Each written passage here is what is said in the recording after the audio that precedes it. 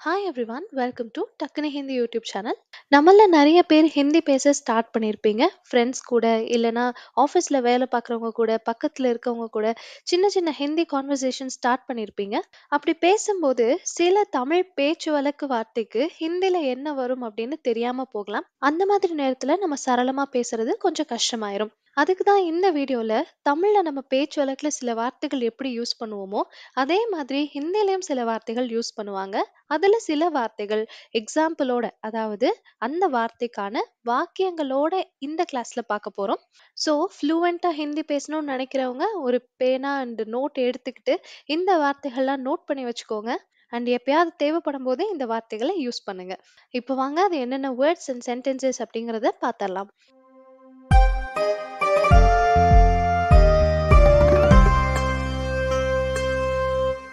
First வார்த்தை நம்ம பார்க்க போறது லம்பா சௌடா லம்பா சௌடா.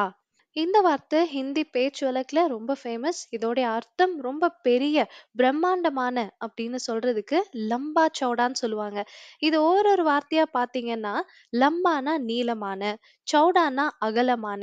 ஸோ நீளமான அகலமான ரொம்ப பிரம்மாண்டமான அப்படின்னா சொல்றதுக்கு லம்பா சௌடான்னு சொல்லுவாங்க. எக்ஸாம்பிளுக்கு இந்த சென்டென்ஸ் பாருங்க. இது ரொம்ப பிரம்மாண்டமான வீடு அப்படின்னு சொல்லணும்னா ஹிந்தியில எப்படி சொல்லணும்? ய பஹோத் லம்பா சௌடா கர் ஹே. லம்பா சௌடா கர் ஹே. ஒரு ஒரு வார்த்தையா பார்க்கலாம். யஹ் இதுன்னு அர்த்தம். இதுன்னு சொல்லணும்னா ய சொல்லணும்.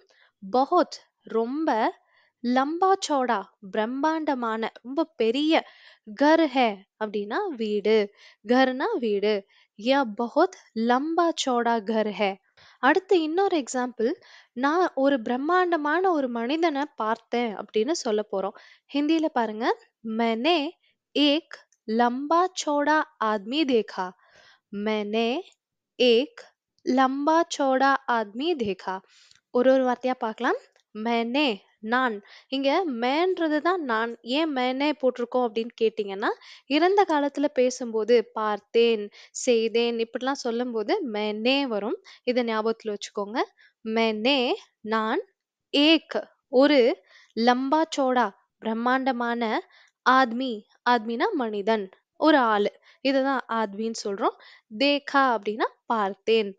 நம்ம இங்கிலீஷ்ல சொல்லுவோம் ஹைட் அண்ட் வெயிட்டா அப்படின்னு சொல்லுவோம் ரொம்ப உயரமாவும் இருப்பாரு குண்டா அகலமாவும் இருப்பாரு அந்த மாதிரியான மனிதனை லம்பா சௌடா ஆத்மி அப்படின்னு சொல்றாங்க ஃபுல் சென்டென்ஸ் இன்னொரு முறை பார்க்கலாம் मैंने एक लंबा चौड़ा आदमी देखा मैंने एक लंबा चौड़ा आदमी देखा அடுத்த ஹிந்தி வார்த்தை பேச்சு வழக்குல இருக்கக்கூடியது பச்சா குச்சா பச்சா குச்சா இதோடைய அர்த்தம் மிச்சமீதி எஞ்சிய அப்படின்னு நம்ம சுத்த தமிழ்ல சொல்லுவோம் பேச்சு வழக்குல மிச்சமீதி அப்படின்னு சொல்லுவோம் அதே மாதிரி ஹிந்தியில பேச்சு வழக்குல பச்சா குச்சான்னு சொல்லுவாங்க பச்சா குச்சா இதுக்கு ஒரு வாக்கியம் எக்ஸாம்பிளா பார்க்கலாம் நான் மிச்சமீதி சாப்பாடை சாப்பிட மாட்டேன் நான் மிச்சமீதி சாப்பாடை சாப்பிட மாட்டேன் ஹிந்தில மே बचा कुचा खाना नहीं खाऊंगा मैं பச்சா குச்சா கானா நை கவுங்கா.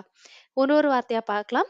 மே நான் பச்சா குச்சா கானா. மிச்ச மீதி சாப்பாடு.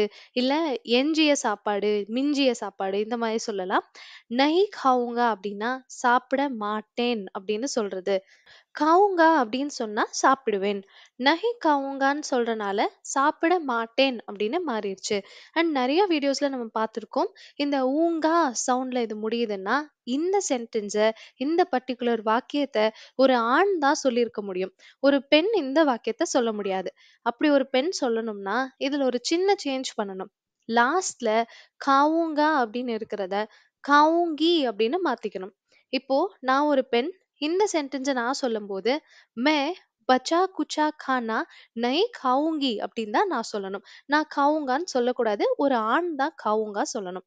இதே மாதிரி இன்னொரு எக்ஸாம்பிள் எஞ்சிய சாப்பாட்டை யாருக்காவது கொடு அப்படின்னு சொல்றோம். மிச்சமேதி சாப்பாட்டை யாருக்காவது கொடுத்துரு அப்படின்னு சொல்றீங்க. இதுக்கு ஹிந்தியில பச்சா குச்சா கானா கிசி தேதோ பச்சா குச்சா கானா கிசி தேதோ இப்போ பச்சா குச்சானா மிச்ச மீதி கானானா சாப்பாடு. கிசி கோ அப்படின்னா யாருக்காவது யாருக்காவது அப்படின்னா கிசி கோ. தேதோ அப்படின்னா கொடு தேதோ குடு. பச்சா குச்சா கானா கிசி கோ தேதோ. நெக்ஸ்ட் பேச்சு வழக்கு ஹிந்தி வார்த்தை சாஃப் சுத்ரா. சாஃப் சுத்ரா இதோடைய அர்த்தம் சுத்தமான அப்படிங்கறதும் எடுத்துக்கலாம். சுத்தபத்தமான அப்படிங்கறதும் எடுத்துக்கலாம்.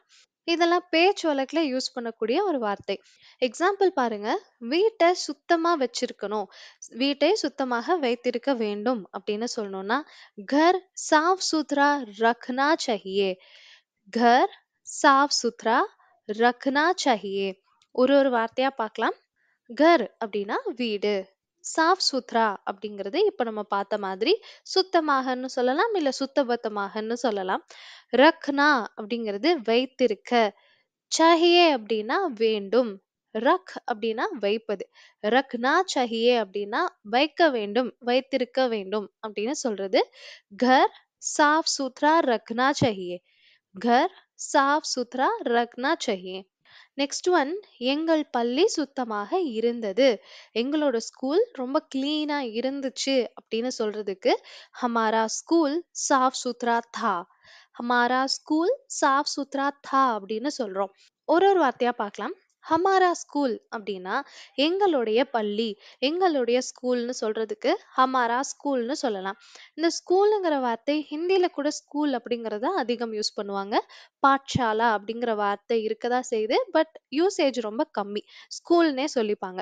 ஸோ ஹமாரா ஸ்கூல் அப்படின்னா எங்களுடைய ஸ்கூல் சாஃப் சூத்ரா அப்படின்னா சுத்தமாக சுத்தபத்தமாக இருக்குன்னு சொல்லணும்னா ஹேன்னு சொல்லி முடிச்சிருந்திருப்போம். ஆனா இங்க நம்ம தமிழ்ல சொன்னது சுத்தமாக இருந்தது. ஒரு இறந்த காலம் கடந்த காலத்தை பத்தி பேசுறோம். அதனால சாஃப் சுத்ரா தான்னு சொல்லணும்.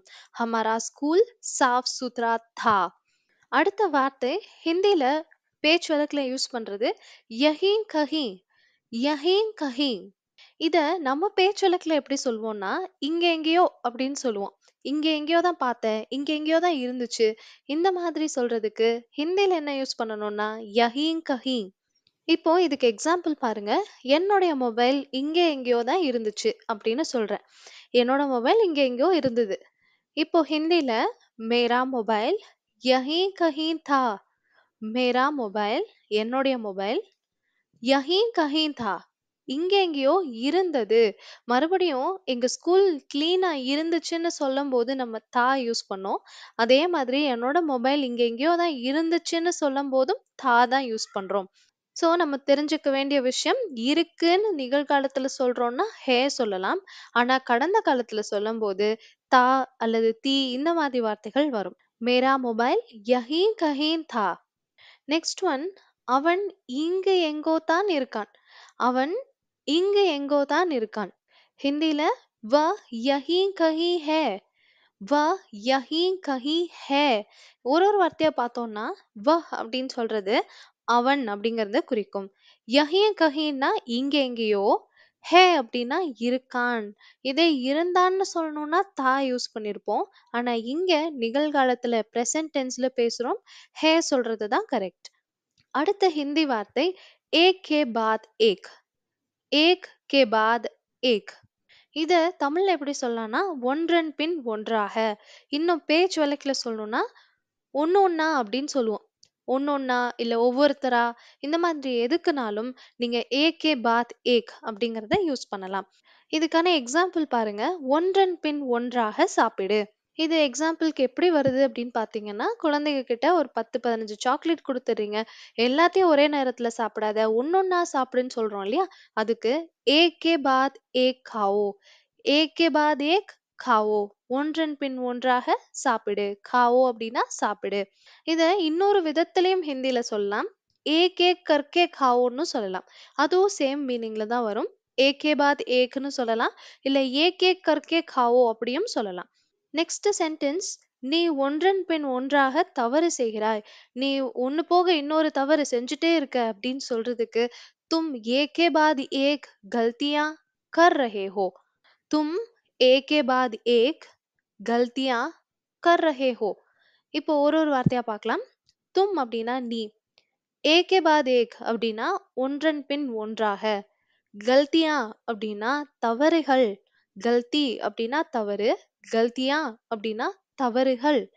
கர் ரஹே ஹோ செய்து கொண்டு இருக்கிறாய் கர் ரஹே ஹோ செய்து கொண்டு தும் ஏகே பாத் ஏக் கல்தியா கர் ரஹே ஹோ அடுத்த ஹிந்தி வார்த்தை பேச்சு வழக்கில் தூர் தூர் தக் அப்படின்னு சொல்லுவாங்க.